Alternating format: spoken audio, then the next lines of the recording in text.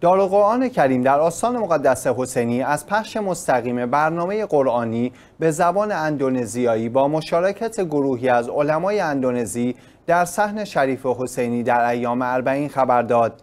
مهندس حسین آید هماهنگ کننده این برنامه گفت با همکاری اعضای شعبه دارالقرآن کریم در جاکارتا پایتخت اندونزی و مؤسسه دیجیتالی وابسته به بخش رسانه در آستان مقدس حسینی که وظیفه انتقال این برنامه را از شبکه رسمی آستان مقدس حسینی در یوتیوب بر عهده دارد چنین فعالیتی انجام شد. وی افزود این برنامه به طور مستقیم به زبان اندونزیایی از داخل صحنه حسینی پخش شد. شیخ عبدالله بیک مدیر شعبه دارالقرآن در اندونزی و رئیس بخش عقاید و فلسفه در دانشگاه اسلامی صدرا و عضو شورای سازمان اهل بیت در اندونزی این برنامه را اجرا کرد.